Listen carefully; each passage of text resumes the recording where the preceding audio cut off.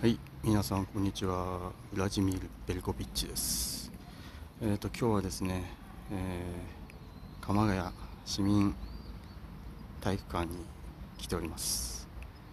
えっ、と今は福太郎アリーナっていう名前に変わってるみたいですけど、はい、えっ、とここはですね、まあちょっと UWF の動画としては全く関係ない、もうゼロですね。えー、と自分が昔見に来た試合のえー、とそういうのをちょっと語りたいなと思うんですけど、えー、と確か2回来てると思います、えー、と1回はねまたこれもうんと無料の招待券をもらった FMW ですね。結構初期だと思いますね。まだオニタがデスマッチとかやってないのかな？あのダチョウ倶楽部の竜兵のモノマネのあの白いなんかこうタンクトップみたいなのに青いパンツのおでこに包帯じゃないですけど、えっと、パン絆創膏を貼ったみたいなあの頃のオニタだったと思うな。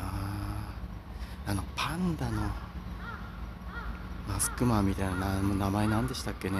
いた気がするんですよ。うん。確かちょっと覚えてないけどバトルロイヤルやった記憶があるな。はい。その FMW, を見ました。でその後はですね多分チケットちゃんと買ってみたんじゃないかな。JWP に来ましたね。えっ、と福岡ひかりとキューティー鈴木見に来ました。確か。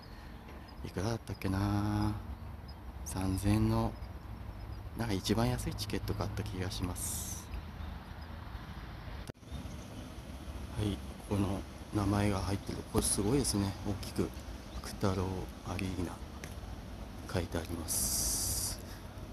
ここは確か船橋の運動公園や松野運動公園よりはあの体育館小さいとこなんですけどここ何度かここ最近も1年に1回ぐらいちょっと中に入ることがあって来てるんであれですけどここもさすがにあれですよね。もうプロレスは来てないですよね。どこの団体も。うんどんどんどんどんこういう東京から近いっていう体育館でももう田舎のところには来ないですよね。やっぱり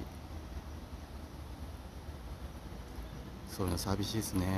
まあ間違いなく客入らないんでしょうがないっす。はいえーと本日は鎌ヶ谷市市民体育館えーと福太郎アリーナからお届けしました。またえっ、とスケボーが始まりました。すいません。以上になります。